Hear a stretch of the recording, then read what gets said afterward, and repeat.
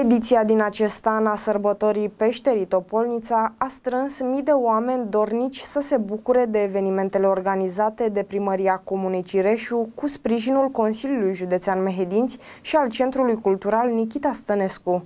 Atmosfera a fost una de sărbătoare în care costumul popular a fost purtat cu mândrie de la cele mai mici fete ale satului până la cele mai vârstnice.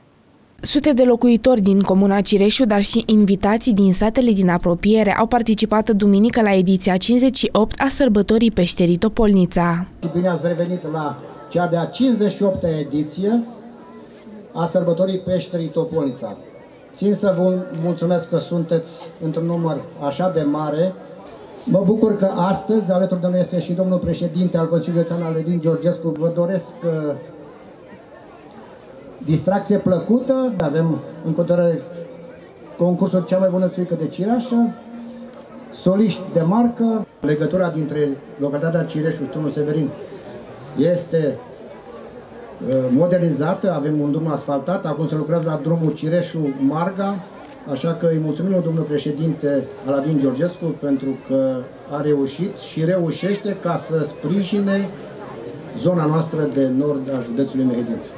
Președintele Consiliului Județean Mehedinți, Aladin Georgescu, împreună cu vicepreședintele Ionică Negru și deputatul Alin Chirilă, senatorul Liviu Mazilu, dar și consilierul județean Bogdan Simcea au fost alături de oameni. Le-au vorbit acestora despre proiectele pe care Consiliul Județean le are în această perioadă. Am venit cu plăcere în fiecare an, dar de data asta, credeți-mă că vin cu simțul datoriei împlinite, cel puțin în parte. Și spun cel puțin în parte că încă n-am terminat ce mi-am propus să fac pentru această zonă în calitate de președinte al Consiliului Județean, alături de domnul primar și alături de colegii mei din Consiliul Județean și din Parlamentul României.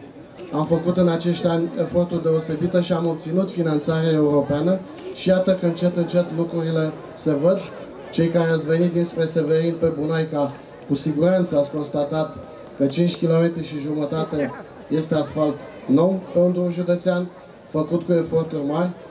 Cei care ați venit pe Malovăț sau cei care ați venit dinspre nordul județului, de la Marga în jos spre Cireșu, ați constatat că se lucrează într-un ritm bun și sper ca la anul pe vremea asta și din acea zonă să veniți pe drumuri asfaltate, pentru că am obținut finanțare, contractele de execuție și de proiectare și ați văzut că se lucrează.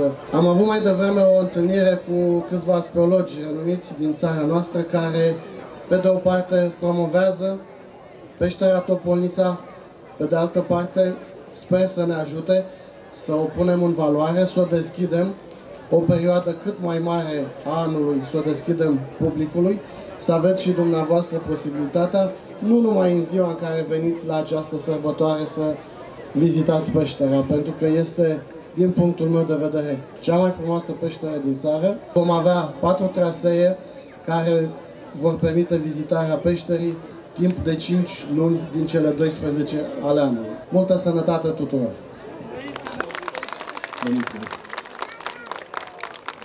Anul acesta atmosfera a fost una deosebită, poate și după un an și jumătate de pandemie, fapt ce a arătat dorința oamenilor de normalitate și ocazia să se bucure de spectacole artistice și tradiții populare. Așa, așa